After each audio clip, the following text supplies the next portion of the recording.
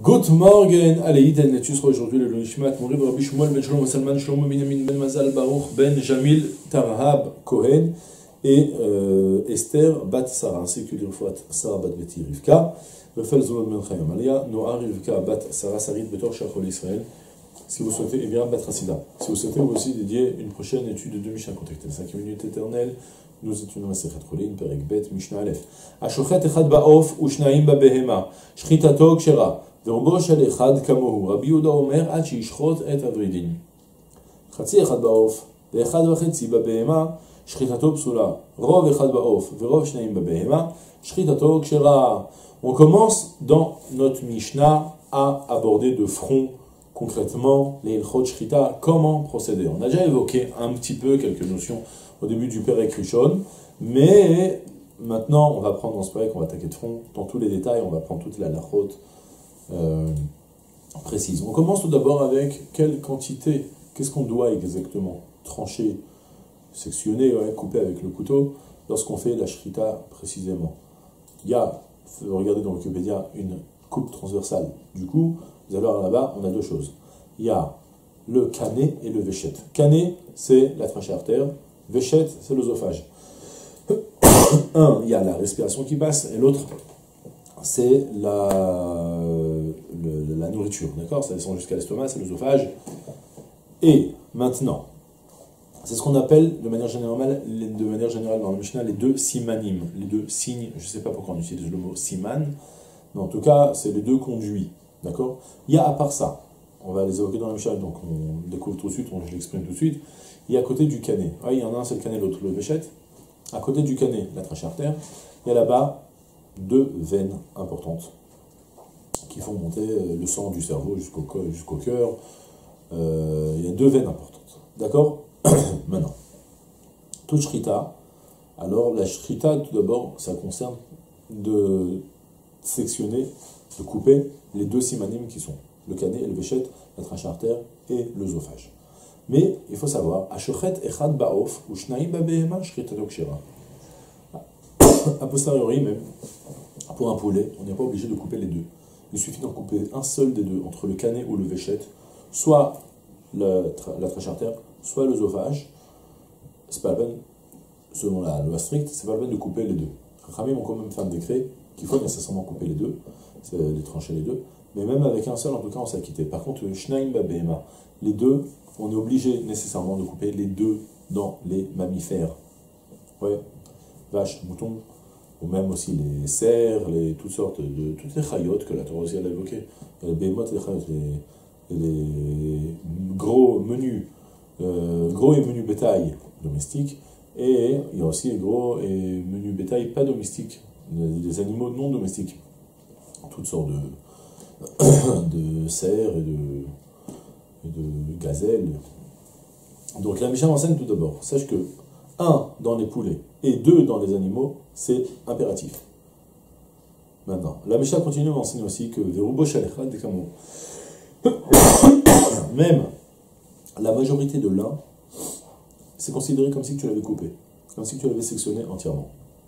C'est-à-dire, vous prenez le diamètre, si vous avez atteint, vous avez, il y a, le centre dans n'importe quel diamètre, de quelque chose qui est rond en tout cas, si vous avez dépassé le centre, c'est que forcément vous avez déjà coupé la majorité du périmètre, eh bien, vous avez coupé la majorité, on s'est déjà acquitté.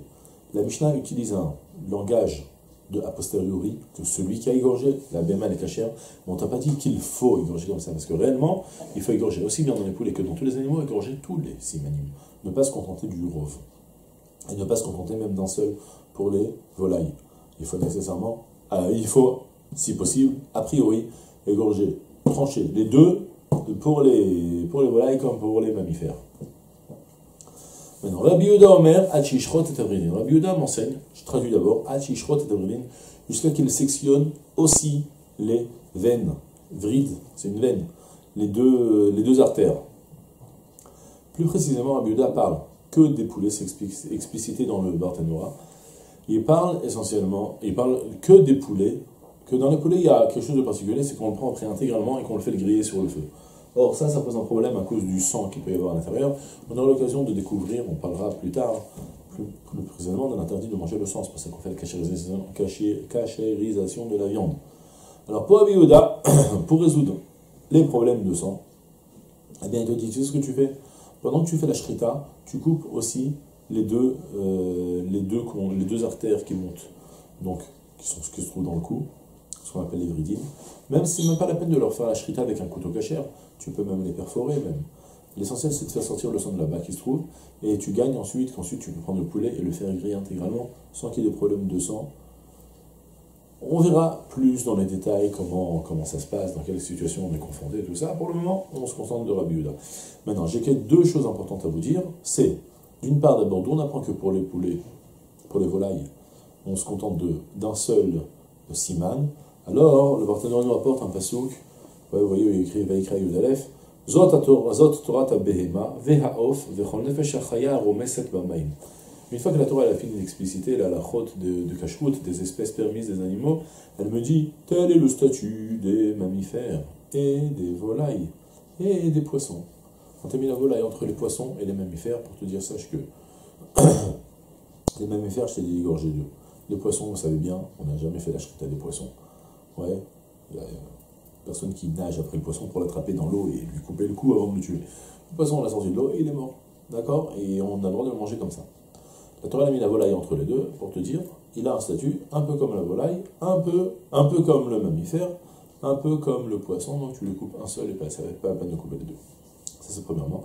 Deuxième point dans Barthénora, il nous a rapporté les cinq alachot, les Moshe euh, de la Shrita, qui invalide la Shrita. C'est important, on va tous les découvrir et tous les approfondir dans ce prochain Pérec. Pour le moment, on les lit.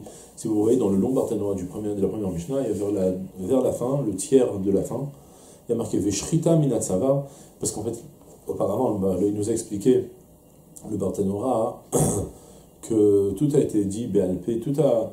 Et la Torah a dit tu égorgeras, elle a dit à Moshe et tu égorgeras comme ce que je t'ai ordonné. On est lui de là, hein, qu'Hachem il a ordonné, parce que Moshe il était au Sinaï. Hachem il a ordonné, il a donné des instructions très précises comment faire la shrita. Et la Torah a fait référence à toutes ces halachot qui, ont été dites à l'oral. Donc, tu feras comme ce que je t'ai appris à faire ou je t'ai appris à faire, quand on est dans la Torah, c'est pas écrit. Donc il y a une transmission orale. On apprend là toute la halachot de Moshe Messinaï. Il y a plein de halachot qui ont été transmises oralement à Moshe. Et ensuite, quoi, comme Moshe a transmis au, Chachamim et tout ça, eh bien, parmi toutes ces halachot, il y a justement cinq choses qui vont rendre pas sous la shrita, qui sont Shehiya, Drasa, Chalada, Hagrama, Veikur.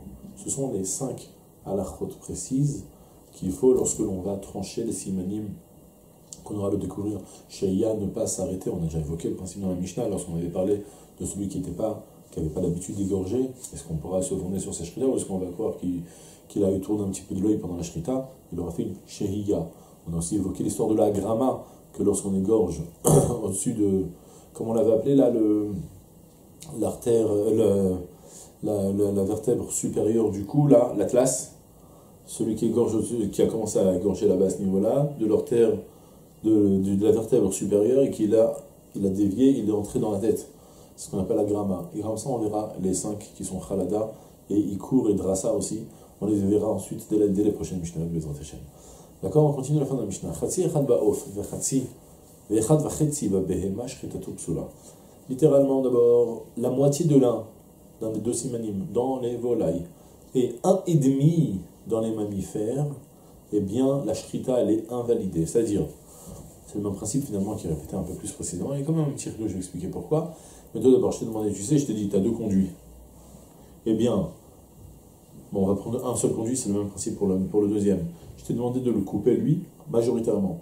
A, posteriori, on permet, même majoritairement, c'est pas de le couper entièrement.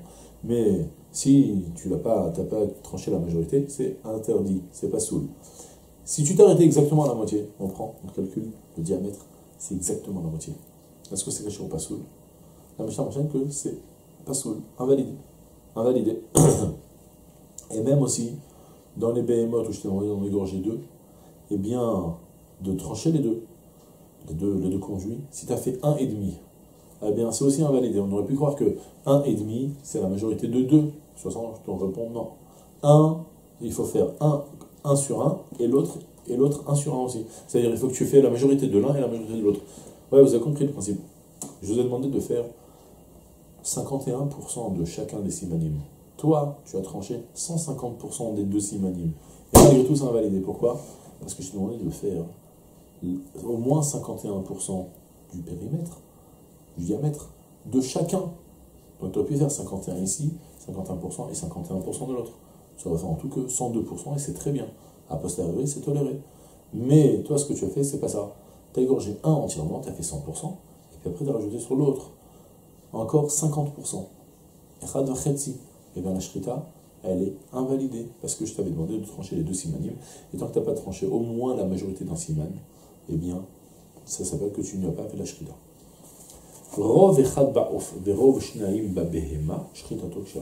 La Mishnah se répète pour m'enseigner que si toutefois tu as égorgé la majorité d'un siman, d'un conduit, dans les volailles, et la, moitié, et la majorité des deux conduits dans les animaux mammifères. Shritato Kshira, la Shrita, elle est tolérée.